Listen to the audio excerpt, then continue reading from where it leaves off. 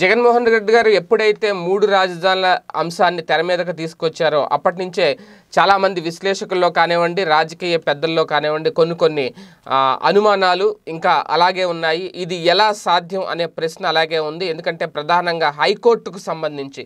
ఎందుకంటే హైకోర్టు తరలింపు అనేది అంత ఆషామాషి వ్యవహారం ఏం కాదు అని తెలిసినా సరే జగన్మోహన్ రెడ్డి గారు ఎందుకు అంత కీలక నిర్ణయం తీసుకున్నారు? హైకోర్టు తరలింపు విషయంలో ఎలాంటి వ్యూహాలు రచించనున్నారు అనే దానికి ఇంకా చాలామందికి సమాధానం దొరకలేదు. ఈ పరిస్థితిలో జగన్మోహన్ రెడ్డి గారు ఒక వ్యూహం ఏంటి అనేది బయటకు వస్తుంది ఆయన దగ్గర ఒక రెండు ప్లాన్లు ఉన్నాయి. ఆల్రెడీ ప్లాన్ బి ఒకటి ప్లాన్ సి ఒకటి. ప్లాన్ ఏంటో అందరికీ తెలుసు. హైకోర్టు కర్నూలుకు తరలించడం. ఇక ఎలా తరలించాలనే దాని మీద ప్లాన్ బి ప్లాన్ సి రెండు వ్యూహాలను సిద్ధం పెట్టుకున్నారు సిద్ధం చేసి పెట్టుకున్నారు. ఆ ప్లాన్ బి ప్లాన్ సి ఏంటనేది నేను మీకు చెప్పే ప్రయత్నం చేస్తాను. ఎందుకంటే హైకోర్టు గతంలో హైకోర్టును విభజించడానికే సుప్రీంకోర్టు చాలా సమయం తీసుకుంది. ఎప్పుడైతే రాష్ట్ర విభజన జరిగిందో ఆ టైంలో హైకోర్టు ఇప్పుడు అమరావతిలో ఏర్పాటు చేశారు కాబట్టి దాన్ని ఏర్పాటు చేయడానికే చాలా సమయం తీసుకుంది. భవనాలు చూపించిన తర్వాత హైకోర్టు విభజన అంగీకరించడం వంటివి మనం చూసాం. ఇవన్నీ దృష్టిలో పెట్టుకునే ఒక ప్లాన్ బి రెడీ చేసి పెట్టుకున్నారు వైఎస్ జగన్మోహన్ రెడ్డి గారు అనేది చాలా క్లియర్గా అర్థమవుతుంది. ఎందుకంటే కర్నూలుకి హైకోర్టు తరలించాలి. జ్యుడిషియల్ క్యాపిటల్గా కర్నూలుని ఏర్పాటు చేయాలని చెప్పి ఆల్రెడీ నిర్ణయం తీసేసుకున్నారు జగన్మోహన్ రెడ్డి గారు. ఇది అందరికీ తెలిసిన విషయం. ఇలాంటి టైంలో అయితే వెనక్కి తగ్గే ప్రసక్తే లేదు అనేది ఒక ఒక సమాచారం. అయితే ప్రభుత్వం నిర్ణయం కంటే సుప్రీంకోర్టు ప్రధాన న్యాయమూర్తి కార్యాలయం ఈ ప్రక్రియలో చాలా కీలక పాత్ర పోషిస్తుంది.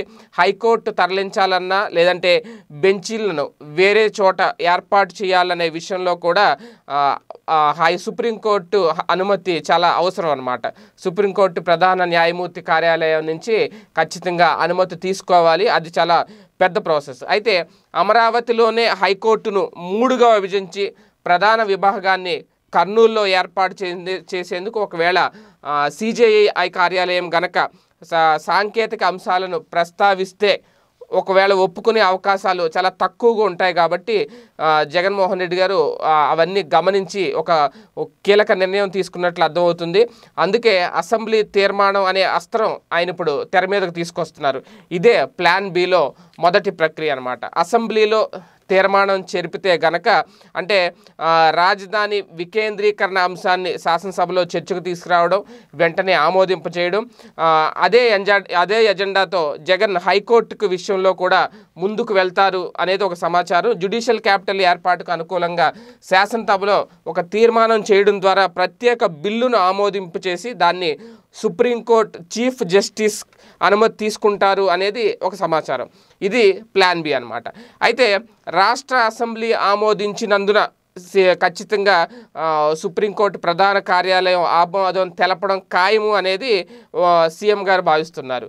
ఒకవేళ ఆ ప్లాన్ బికి సంబంధించి గ్రీన్ సిగ్నల్ కనుక రాకపోతే ఆమోదం పొందిన తర్వాత కూడా సుప్రీంకోర్టు ప్రధాన కార్యాలయం గనక ఒప్పుకోకపోతే అనుమతి ఇవ్వకపోతే అంగీకరించకపోతే తర్వాత ఏం చేయాలి అనే దాని మీద కూడా ఒక క్లియర్ కట్ వ్యూహంతో ఉన్నారు జగన్మోహన్ రెడ్డి గారు. అదే ప్లాన్ సి అనమాట అదేంటి అంటే హైకోర్టు హెడ్ క్వార్టర్స్ను అమరావతిలోనే ఉంచి కర్నూలులో రెండు లేదా మూడు హైకోర్టు బెంచ్లను ఏర్పాటు చేయడం అలాగే అవసరమైతే విశాఖలో కూడా ఒక బెంచ్ ఏర్పాటు చేయడం. ఎందుకంటే ఈ విషయం జిఎన్ రావు కమిటీ కూడా చెప్పింది. విశాఖలో కూడా ఒక హైకోర్టు బెంచ్ ఉంటే మంచిది అని.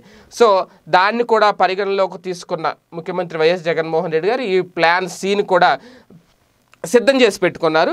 అలాగా విశాఖలో కూడా ఒక బెంచ్ ఏర్పాటు చేయడం అనేది ఒక ప్రత్యామ్నాయం. ఒకవేళ అప్పుడు దాన్ని ఖచ్చితంగా సిజేఐ ఒప్పుకునే అవకాశం ఎక్కువగా ఉంటుంది.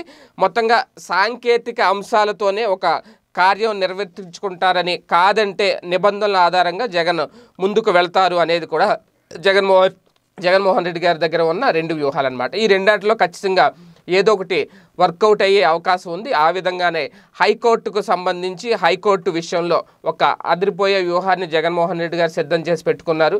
ఈ విషయంలో ప్రతిపక్షాలు ఎలాంటి అడ్డంకులు వేసినా ఎలాంటి పుల్లలు వేసినా ఆయన మాత్రం ముందుకు వెళ్ళాలి అని క్లియర్గా డిసైడ్ అయి ఉన్నట్టు అర్థమవుతుంది. చూద్దాం ఏం జరుగుతుందో. స్టేట్ మీరెక్కడున్నా ఏం చేస్తున్నా ప్రపంచంలో ఏం జరుగుతుందనేది ఇప్పుడు మీకు పెట్లోకి తెచ్చేసింది one line app.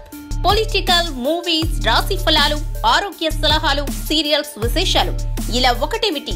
బోలెడన్ని విశేషాలను మినిట్ టు మినిట్ మీకు అందిస్తుంది one line app. So late ఎందుకు? డిస్క్రిప్షన్లో ఉన్న లింక్ ద్వారా వన్ లైన్ యాప్ డౌన్లోడ్ చేసుకోండి. One line it's for every